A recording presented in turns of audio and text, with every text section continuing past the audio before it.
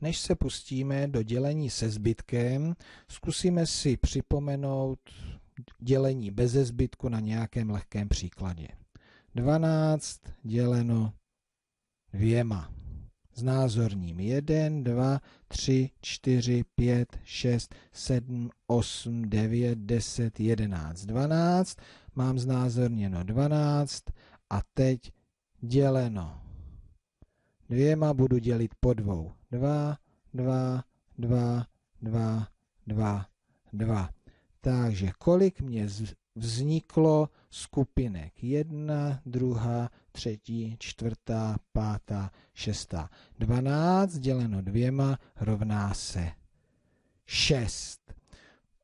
12 je dělitelné dvěmi, protože najdeme 12 mezi násobky čísla 2. Já je napíši 0, 2, 4, 6, 8, 10, 12, 14, 16, 18, 20.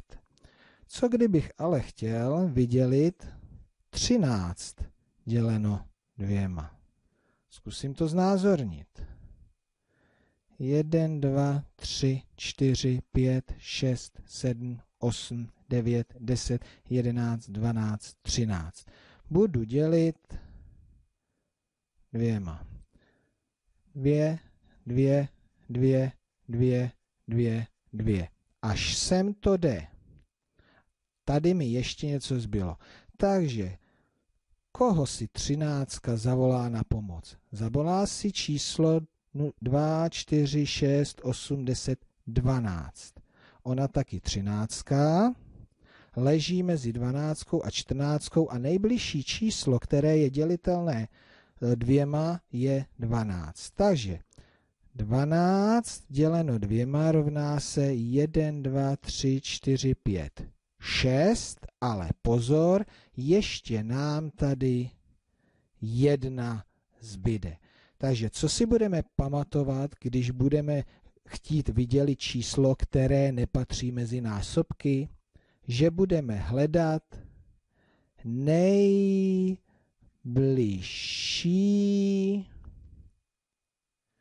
nižší